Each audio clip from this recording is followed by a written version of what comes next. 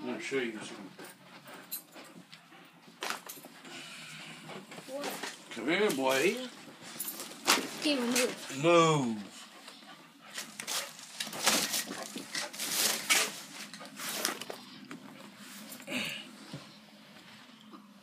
Oh.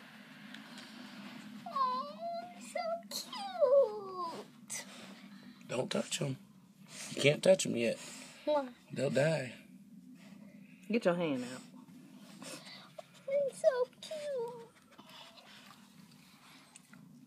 Are you keeping them under? That's where she had them. She had them under your bed.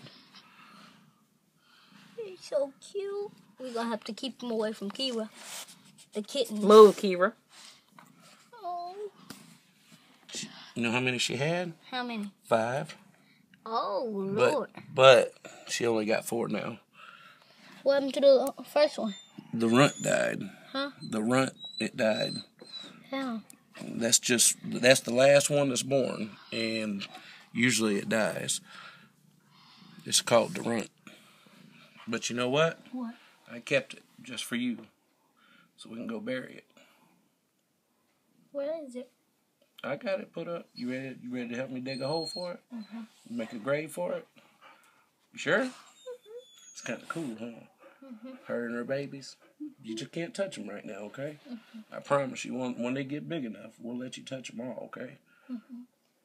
Just can't can't fool with her too much. You know, she's still a baby herself, so this is.